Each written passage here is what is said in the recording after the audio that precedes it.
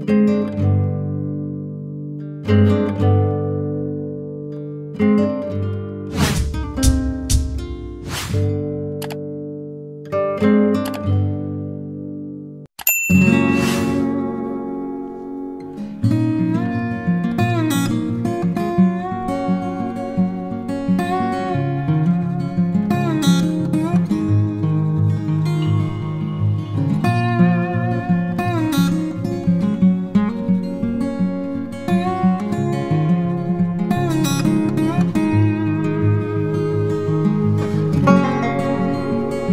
Rio de Contas. Rio de Contas é um município do estado da Bahia, Brasil. Sua população estimada em 2004 era de 13.710 habitantes. Rio de Contas foi a primeira cidade planejada do Brasil. A Vila de Nossa Senhora Senhora do Livramento das Minas do Rio de Contas foi criada em 1723 e teve sua sede transferida para um local planejado, o Pouso dos Crioulos, em 1745.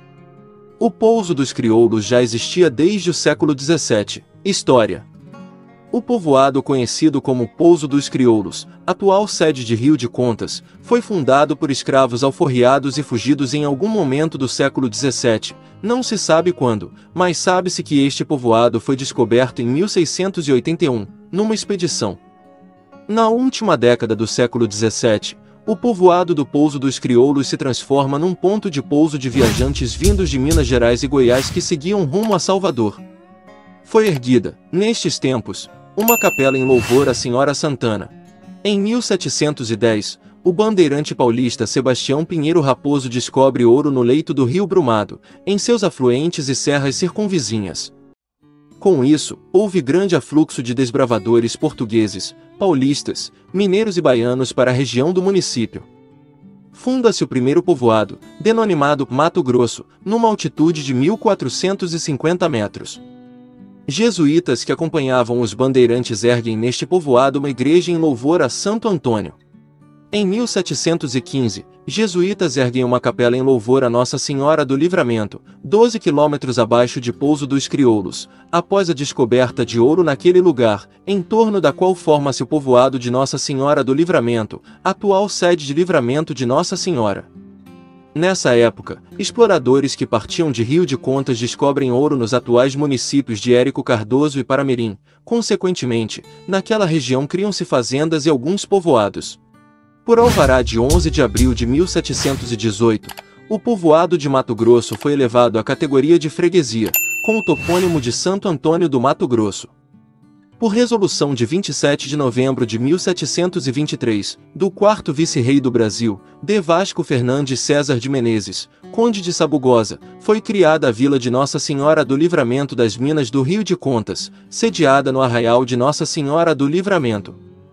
Em 1725, o sertanista Pedro Barbosa Leal ligou a vila de Nossa Senhora do Livramento das Minas de Rio de Contas à vila de Jacobina por uma estrada que incluiu a construção, por escravos, de uma ladeira calçada de pedras para escoamento do ouro da região para Salvador e daí para Lisboa.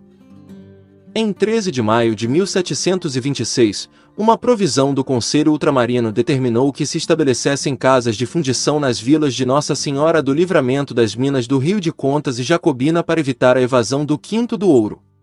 Por meio de resolução de 2 de outubro de 1745, do vice-rei André de Melo e Castro, conde das Galveias, houve a transferência da sede da vila para o Pouso dos Crioulos, um lugar planejado, devido às constantes enchentes no arraial de Nossa Senhora do Livramento e um surto de malária ocorrido no povoado. Com isso, a vila tem o seu nome alterado para Vila Nova de Nossa Senhora do Livramento das Minas do Rio de Contas e o arraial de Nossa Senhora do Livramento passa a se chamar Vila Velha. Com a transferência da sede da vila, muitas pessoas migram para o pouso dos crioulos. Em 1755, a vila teve que contribuir com 400 mil réis anuais para a reconstrução de Lisboa, arrasada por um terremoto. Rica em ouro de aluvião, a vila viveu, na segunda metade do século XVIII, uma época de grande prosperidade econômica.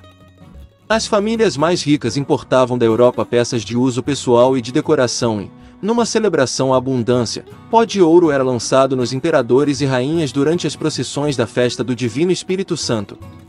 Também são desta época os casarões em estilo colonial, hoje tombados pelo Instituto do Patrimônio Histórico e Artístico Nacional, IFAM.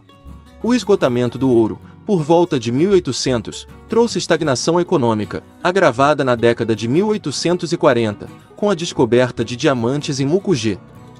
Muitas pessoas de Rio de Contas transferiram-se àquela cidade, em busca de novas riquezas.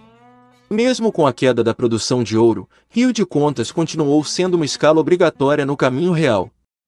Durante o século XIX, todo o tráfego para o sudoeste da bacia do Rio São Francisco era feito por esse caminho. Além disso, a casa de fundição trouxe a Vila Técnica da Joalheira, o que gerou uma metalúrgica artesanal que se transformou na base da economia local. Desenvolveu-se também a agricultura, baseada no café, cana-de-açúcar, cereais e tubérculos. Em 1840, a Vila Nova de Nossa Senhora do Livramento das Minas do Rio de Contas teve seu topônimo simplificado para Minas do Rio de Contas. Em 28 de agosto de 1885, a Vila de Minas do Rio de Contas foi elevada à condição de cidade, com a mesma denominação. Em 23 de junho de 1931, o município passou a se chamar Rio de Contas. No século XX, novas corridas de ouro ocorreram, em 1932 e 1939, mas não tão significativas. Minas Rio de Contas perdeu muito território ao longo do século XIX e início do século XX, com a emancipação de Caetité, 1810, Mucugê, 1847, Água Quente, atual Paramirim, 1878, reanexada a Minas do Rio de Contas em 1881 e alcançando sua emancipação definitiva em 1890, Bom Jesus do Rio de Contas, atual Piatã, 1878, e Vila Velha, atual Livramento de Nossa Senhora, 1921.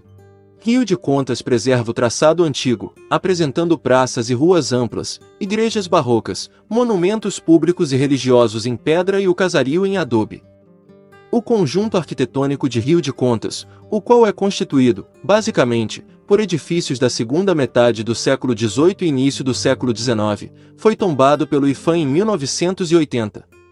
A cidade é, atualmente, polo ecoturístico da Bahia. Além das centenas de edificações históricas da área urbana, nos arredores de Rio de Contas encontram-se vestígios de represas, aquedutos, túneis e galerias, que testemunharam a grande atividade de mineração naquele sítio. O filme Abril Despedaçado, 2001, de Walter Salles, teve parte de suas cenas rodadas em Rio de Contas, junto com a cidade de Caetité e as localidades de Ibiraba e Bom Sossego, pertencentes aos municípios de Barra e Oliveira dos Brejinhos, respectivamente. Clima Rio de Contas possui um clima tropical de altitude e é classificado na escala climática internacional de Köppen como CWB, por apresentar um verão úmido e fresco causados pelas chuvas de verão e frentes frias vindas do sul do Brasil e invernos relativamente frios e mais secos. Rio de Contas tem um clima-clima oceânico, tipo CWB criado por sua elevada altitude e sua posição no agreste baiano que leva a cidade a receber, ainda uma influência marítima, das massas nebulares vindas do Oceano Atlântico e das massas polares oceânicas advindas do Brasil meridional. Apesar de ter uma quantidade de chuvas inferior a diversas cidades com este tipo de clima, chove anualmente um pouco menos que a nublada cidade de Varsóvia na Polônia com apenas 8 milímetros a menos que o clima oceânico daquela cidade europeia.